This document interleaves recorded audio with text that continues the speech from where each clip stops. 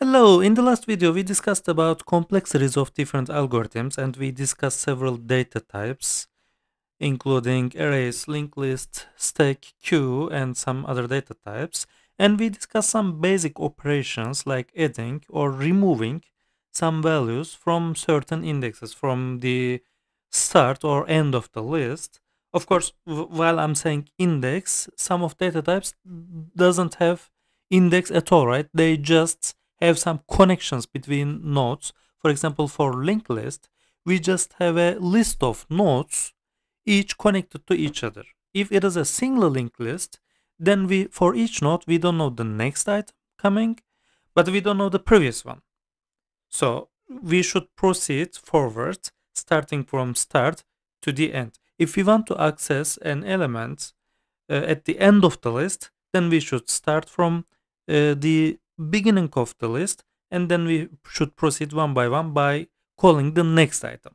But if it is a doubly linked list, then we know both the previous and the next nodes.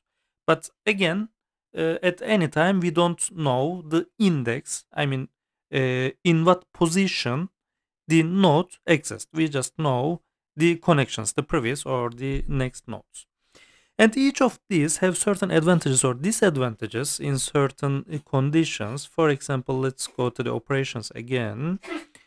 For example, for accessing a certain index, of course, the arrays, using arrays make more sense, right? Because we just have the index, we should just access to the relevant index. It is just like this one getting, it is just O1 complexity, right? For array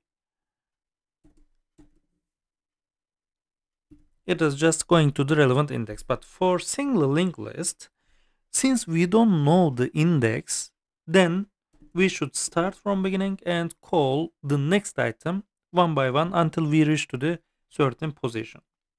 So in the worst case, for big O notation, it should be ON. But of course, linked lists, uh, using linked lists might make more sense under certain conditions. For example, let's look at this operation, which is adding a value to the start of the list. For an array, of course, we know where we should point. It is the uh, index 0.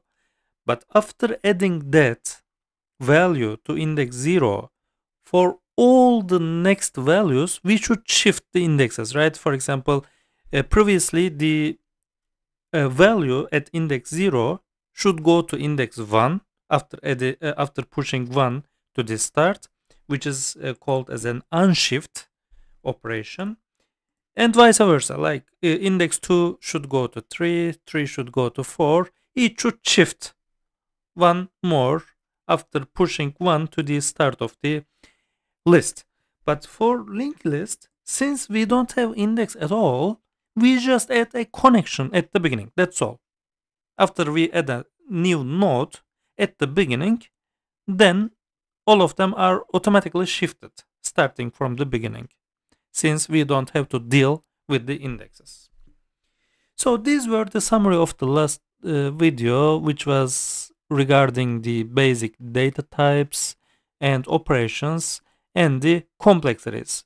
In terms of complexity, we discussed about time and space complexity, and we discussed that O1 is the, of course, the most efficient, which is just a, a constant complexity, right? Regardless of the length of the input data.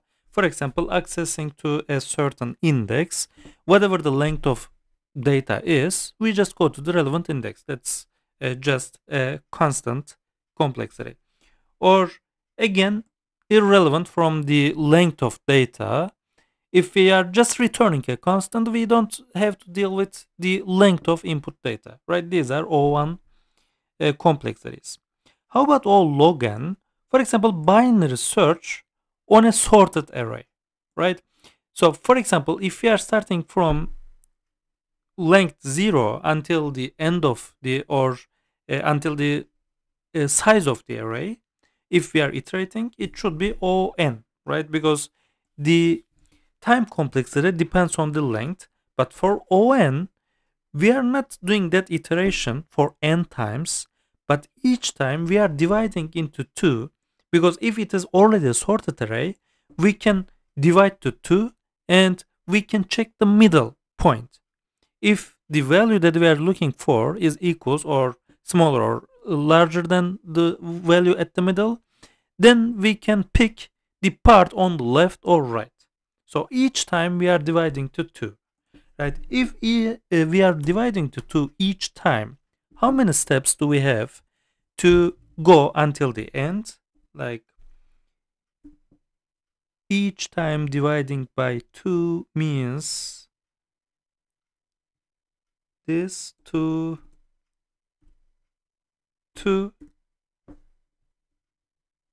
x times after doing x divisions we should reach to n length.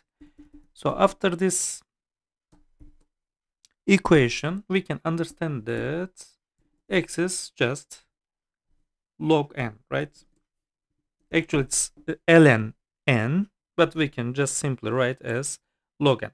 So for this kind of binary division operations, which is basically just binary search on a sorted array, we can conclude that the time complexity is O log n, which is already more efficient than On. Because if n goes to a large number, log n is already smaller than n itself.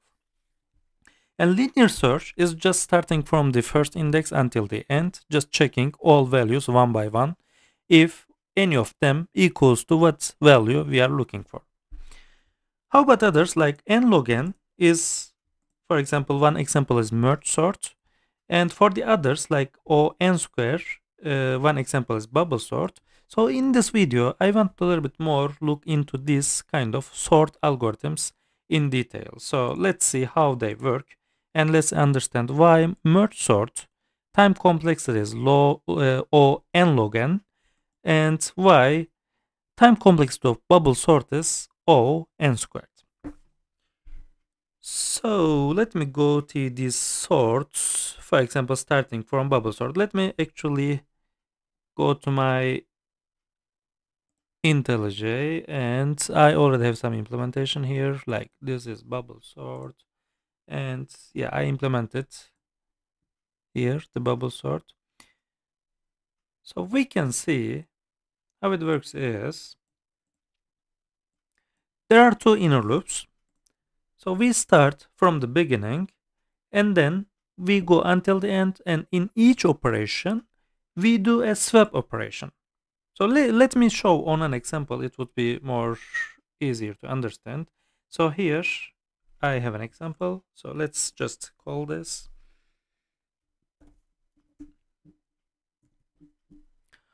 it's under my tests sorts and bubble sort right? Yes let's execute this.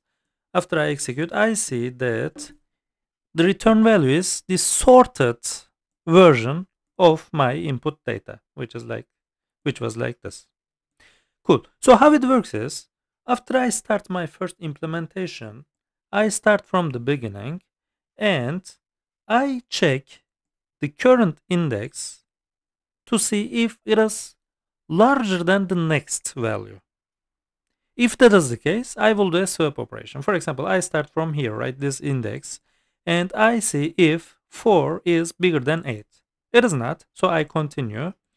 If 8 is bigger than 2, then I do a swap operation. So here, I already, in the second operation, it should be something like this. And the next. And then I check if 8 is bigger than 5. If that is the case, I will swap. So in the next iteration, it should be something like this.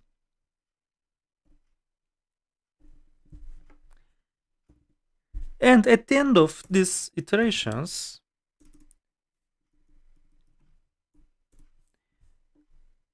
The purpose is putting the maximum value at the end. So after the first series of operations, I will have the maximum value at the end, which will be 9, right?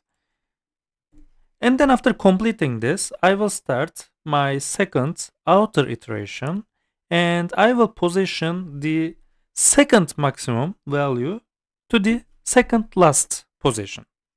It will be again 9 and then it will be 8 and then it will be 6 I guess. So I will complete all the values until the beginning. The first which would be the minimum value would be 1 here. So this will be my return value like I see here. So the working principle of bubble sort is starting from beginning and whenever we see a bigger value uh, whenever uh, in any of indexes whenever we see a value which is bigger than the next value then we just swap. For example for checking 4 we just keep it here but for 8 we will swap 2 and 8 which means actually we are shifting 8 right we are shifting 8 to the right position we are pushing the maximum values until the end so after the first iteration, since 8 would stop here just before 9 because it is not bigger than 9 anymore, it will stop. But we will proceed with 9. So we will shift 9, we will swap here, we will swap here. So 9 will be at the end. So we are pushing the maximum values until the end. This is the working principle. And what is the complexity? Since we have two for loops, inner loops, it will be O n squared. Because here we are iterating n times. It depends on the length of the data. And this one, again, this will be a little bit smaller than n, but since we are eliminating the constants, again, it will be O n squared. Let's check the next sort, which is the selection sort. Or actually, let me first see insertion sort because this is very similar. So here what we are doing is, again, we do a very similar swapping algorithm or operation. Let me just first see how it works. This time I will execute the insertion sort class. Again, I get the sorted version of my array, which was the same as I uh, did in the previous example. Here what I'm doing is, this time, again, I will do several uh, iterations and in each iteration, I will see if a value is smaller than the previous one.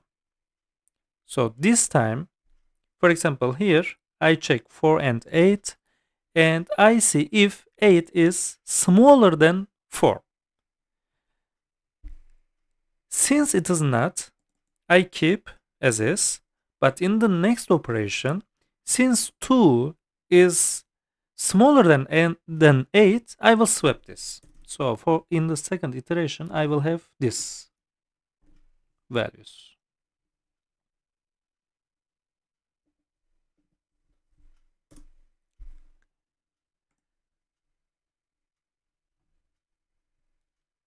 And then uh, uh, I'll continue after swapping this. Is 2 smaller than 4? Yes, then I'll swap again. So it will be something like this. And the rest.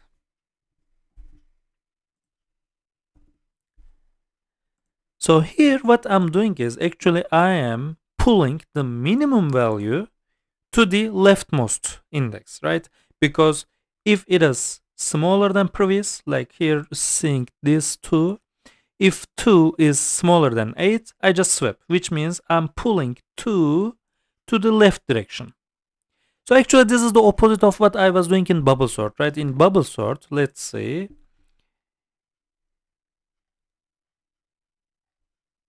mm, did I delete all I wrote here? I think I did. Okay, so what I was doing is I was just pulling all the bigger values to the right direction, but here I'm pulling the minimum values to the left direction. So at the end, uh, after the first outer iterations, I will have 1 at the leftmost and then I'll continue with the second iteration and after completing all inner iterations I will have what value value 2 next to 1 and then I'll continue with the third iteration of the outer loop and after I complete all the iterations I will have another 2 next to the previous 2 right so eventually I will have all the sorted values in this order Let's continue. The next is the selection sort. So here, again, let's first see how it works. I have the same data input.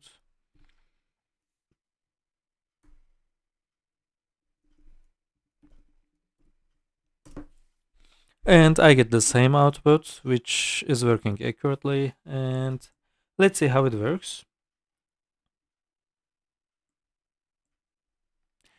Again, I have two inner loops and in each loop, this time, I'm not doing a swap operation, but in each time, I'm checking the minimum of the whole list. For example, first, I will check the minimum of this whole list. I will see that 1 is the minimum, so I'll put 1 to index 0. Then I'll try to find the minimum value of the remaining values since I put 1 to index 0 I don't have to consider 1 anymore. So from the remaining items, what is the minimum value? It is 2, right? So I will place 2 next to 1. Again, I eliminate these two. What is the minimum of the remaining values? There is another 2 here. I will place here. So I will proceed to the next index. So I will uh, place all the values until I reach to the end of the list.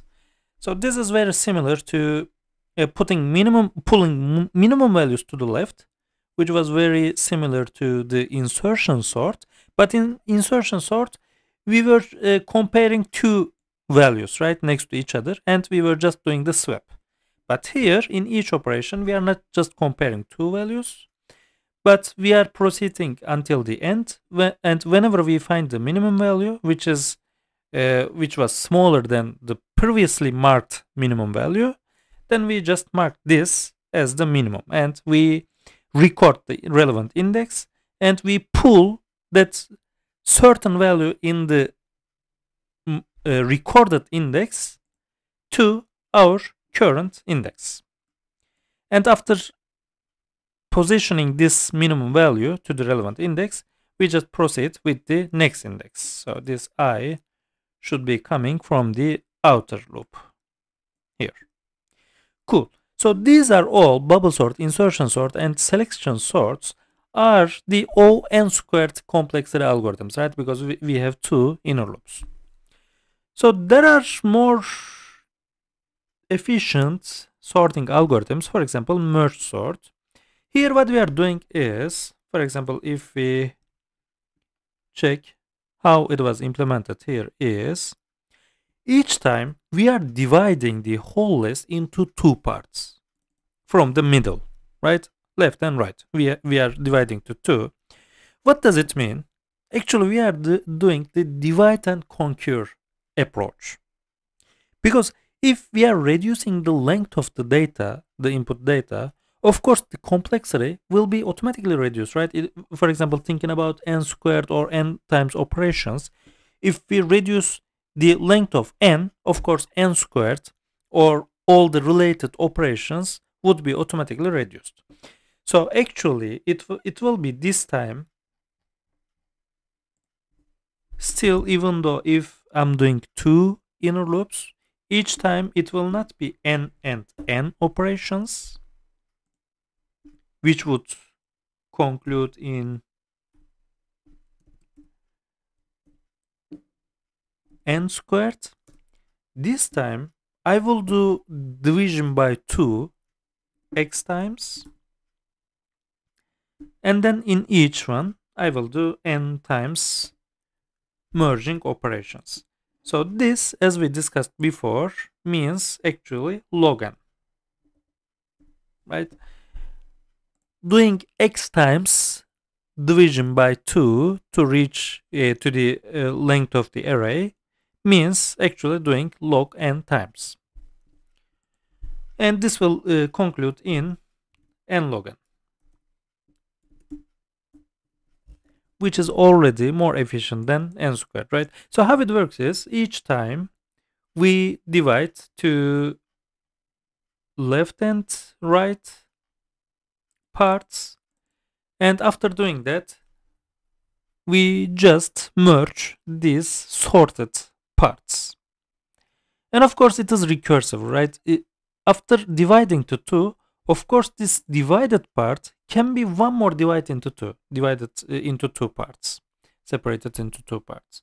So this function will call itself as we can see from here which means we are doing a recursive operation here. So each time divide to two, to two parts, and then uh, try to sort them. After sorting, the small parts merge and go to one upper level and do the same operation again. So divide and conquer. Go until the smallest parts. Do the sorting operation in the smallest since we already reduced the length as much as possible. Do the sorting over there on the smallest part and then after we do already the sorting then merge with the uh, relevant equivalent parts and then go to the one upper level. This is the mentality.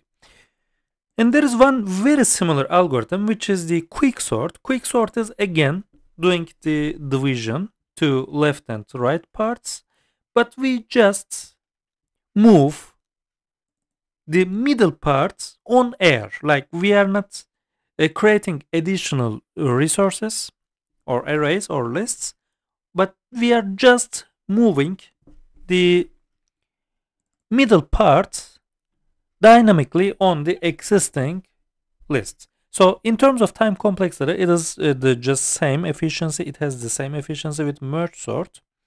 But since it is not creating any additional resources, in terms of memory complexity, it is better than performing better than merge sort. So these were uh, all types of sorts. Each has uh, different advantages or disadvantages uh, on certain types. So it should be decided depending on what what type of or what length of data we have.